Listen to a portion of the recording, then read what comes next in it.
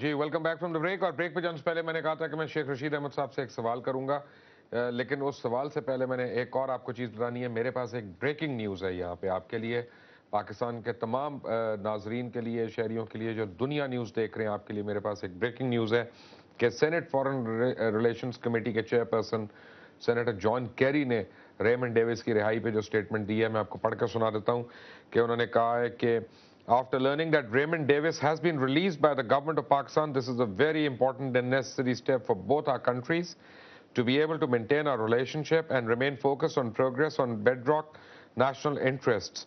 And I'm deeply grateful for the Pakistani government's decision. Pakistani government's decision. Court ka decision nahi kaha John Kerry ne. I'm deeply grateful for the Pakistani government's decision.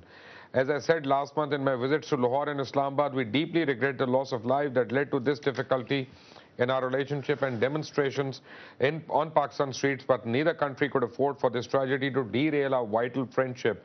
We look forward to working with Pakistan to strengthen our relationship and confront our common languages. Ye John Kerry, Chairman uh, Foreign Relations Committee, اور بہت اہم آدمی ہے اور انہوں نے کہا ہے کہ فیصلہ ہمیں بتایا گیا ہے کہ عدالت نے دیا ہے، ایڈیشنل سیشن جج نے دیا ہے، لیکن کہہ رہے ہیں I am deeply grateful for Pakistan government's decision Sheikh Rashid Ahmed صاحب، کیڑی عدالت نے کیڑا فیصلہ؟ جاؤ بگانے لے جاؤ۔ یہ جان کیری تو جب لاہور میں گئے تھے، تو جب یہ آئے تھے، انہوں نے کہا تھا کہ میرا ایک نکاتی ایجنڈا ہے اور انہوں نے آپ میڈیا سے بھی بات کی تھی۔ اور پھر اسلام آباد بھی آئے تھے۔ دیکھیں، ہم اپنی قوم کا من حیث القوم اپنی تزہیق کو ایکسیپٹ کر رہے ہیں کہ یہ سب کچھ ہماری دھرتی پہ ہوا ہے۔ عدالت نے کیا ہے، حکومت نے کیا ہے، اس خاندان نے کیا ہے، لیکن ہمارا دنیا میں تعارف یہ جا رہا ہے کہ ہم وہ بکاؤ مال ہیں کہ ہر سطح پہ ہماری قیمت ہے۔ ہمارے سیاستدان کی قیمت ہے ہمارے مقتولین کی قیمت ہے، ہمارے معاملات کی قیمت ہے، ہمارے ایئر سپیس کی قیمت ہے، ہمارے اور گراؤنڈ بیسز کی قیمت ہے۔ شیخ صاحب، ایک میری بات سنیں۔ کیا قیمتیں چکا رہے ہیں؟ آپ کو میں آپ کی حیثیت بتا دیتا ہوں۔ کل پندرہ پرسنٹ فلڈ ٹیکس لگا ہے اس عوام کے اوپر۔ آج ریمنڈ ڈیوز کی وجہ سے وہ سارا بھول گئے میں بھی اور آپ بھی اور ہم کوئی ڈسکشن بھی نہیں کر رہے۔ کل پاکستان، اگر کرکٹ کا میچ ہار گیا تو ہم آج ریمنڈ ڈیوز کو بھول جائیں گے۔ اور اگر اگلے دن انڈیا اپنا میچ ہار گیا تو ہم پاکستان کی ہار بھی بھول جائیں گے خدا کے لیے قوموں کی یاداشت دیکھیں ہم ایک جذباتی قوم ضرور ہیں لیکن اتنے بھی بے وقوف نہیں ہیں اور جاہل اور گوار نہیں ہیں جتنا لوگوں نے ہمیں سمجھ لیا ہے۔ یہ علیحدہ بات ہے کہ ہمیں جاہل اور گوار قیادت ملی ہے۔ ہم من حیث القوم ہم اتنے گئے گزرے نہیں ہیں۔ اور اس کی جو ٹائمنگ سیٹ کی گئی ہے آپ یہ کہنا چاہتے ہیں یہ بھی ایک میچ فکسنگ کی گئی ہے۔ ٹوٹل میچ فکسنگ ہے میں نے تو اس کا ٹائٹل دیا میچ فکسنگ اچھا یہ میں نے میں نہیں دیکھ پا سکا۔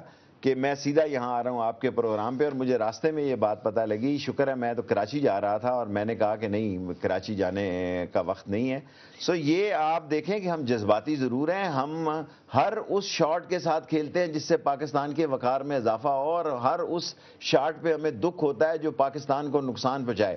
ہماری حب الوطنی شک کے قابل نہیں ہے لیکن چلے میں آپ کو کہتا ہوں آپ کی ہڑتال فیل ہو جائے گی جمعے کو۔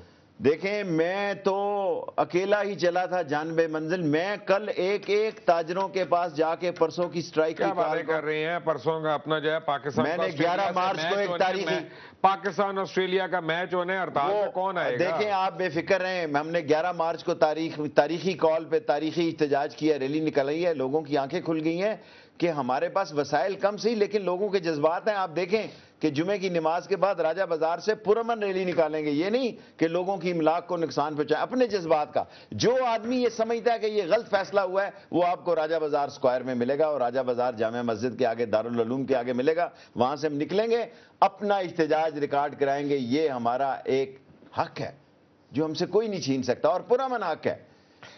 شیخ رشید احمد صاحب، آپ کا بہت بہت شکریہ۔ ہمارے ساتھ رہنے کا پروگرام کری بات لکمان کے ساتھ میں میں نے آپ کو چلتے چلتے دو چار باتیں بتانی ہیں اور بڑی اہم باتیں ہیں۔ ایک یہ ہے کہ ریمن ڈیوس ضرور رہا ہو گیا، اس کو عدالت کے حکم پہ رہا کیا گیا، اس کے پیچھے کوئی کاروائی بھی ہوئی ہے۔ اس میں ہو سکتا ہے کمی بیشی بھی ہو، جس طرح ہم شکوک و شبات کا بھی اظہار کر رہے ہیں۔ احتجاج آپ کا حق ہے، احتجاج ہمارا حق ہے۔ لیکن پرامن احتجاج جو ہے وہ انتہائی ذمہ دار شہری کی ایک، اس کا شہری ہونے کا ثبوت ہے۔ ہمارے احتجاج سے کسی کو نقصان نہیں پہنچنا چاہیے، ہمارے احتجاج سے کسی کو کسی قسم کا ضرر نہیں پہنچنا چاہیے۔ یہ بڑی ضروری چیزیں ہیں اور پروٹیسٹ کرنے کے بھی طریقے ہیں۔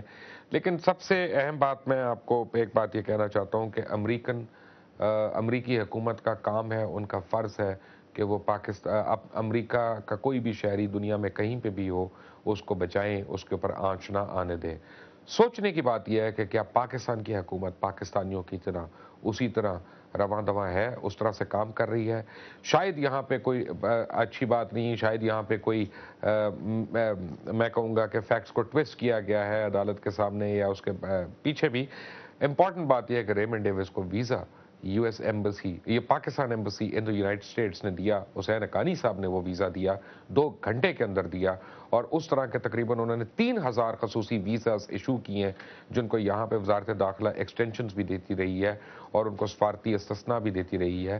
ریمن ڈیوس بغیر انفارم کیے لوکل اتھارٹیز کو اگر وہ ڈپلومیٹ بھی تھا تو کیسے پھر سکتا تھا؟ وہاں پہ بھی غیر قانونی بات ہو رہی، وہ لوکل اتھارٹیز وہ ایجنسیز جو اس سے باخبر نہیں تھیں، ان کی سرزنش کیوں نہیں ہوئی ہے؟ یہاں پہ جتنے فلاز ہوئے ہیں پاکستان کی سائٹ پہ، ہمارے اداروں کی سائٹ پہ، ہمارے افراد کی سائٹ پہ، ان کو کون دیکھے گا؟ صرف امریکہ کو کہنے سے کیا ہم اپنی کالی بھیڑوں کو، ان کو چھپانے کی کوشش کر رہے ہیں؟ وہ برا تھا۔ لیکن جو ہمارے اندر میر جعفر اور میر صادق ہیں، ان کو بھی ایکسپوز کرنا ہمارا کام ہے۔ انٹل ٹمورو اللہ حافظ۔